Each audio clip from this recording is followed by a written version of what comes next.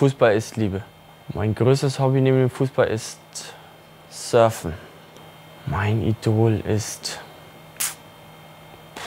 Lionel Messi. Mein Ritual vor dem Spiel ist gute Musik und mit, mit dem linken Bein zweimal auf den Platz hüpfen. Was, was ist gute Musik? Boah, das ist unterschiedlich. Ich habe eine Playlist, die wird rauf und runter gespielt. Ähm, das sind, keine Ahnung, zehn Lieder und damit verbinde ich viel. Ich arbeite da viel dran und es, es funktioniert. Wenn ich nicht Fußballer geworden wäre, dann wäre ich irgendwas Richtung Architekt, glaube ich. Innenarchitekt, sowas. Sehr familiär bedingt. Von meinem ersten Profigehalt habe ich, jetzt ist, muss ich überlegen, ich glaube, es waren ein paar Schuhe. Aber nagelt mich nicht drauf fest. Meine Eltern haben immer gesagt, dass sie bei Franz mit S etwas Besonderes wollten.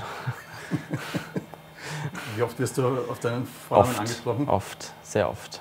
Die Menschen, die mich am meisten unterstützen, sind Mama, Papa und meine Freundin und meine besten Freunde auch. In meinem Spind findet man immer eine Creme, Deo und Shampoo. Am längsten in der Kabine braucht, boah, ist jetzt schwierig, aber ich sag, Mirko Kos ist immer sehr lange da. Die beste Stimmung in der Kabine macht Silva oder Mucki auch. Den schlimmsten Musikgeschmack hat bis jetzt, ich habe noch nicht alle gehört, aber ich glaube, Reinhold Ramftel ist ja noch nicht gut bis jetzt. Ist nicht gut, Reini, ist nicht gut. Ich habe die Rückennummer 41, weil ich die bei den Bayern auch hatte. Ich hätte gern die 13 gehabt, aber die hatte der Luki, Lukas und dann ich, habe ich 41 genommen. Meine Lieblingsserie ist All Time Prison Break. An der Bar bestelle ich Wasser.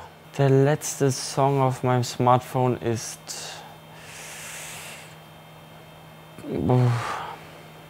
Boah, was habe ich als letztes gehört? Drinking and Smoking. Beschreibe Dominik Fitz in drei Worten. Ruhig, ruhig. Fußball.